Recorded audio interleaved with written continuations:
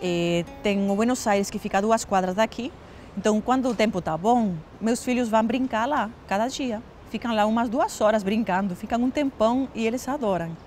Então era como uma coisa indispensável para eu vir morar em São Paulo, ter esse equipamento perto.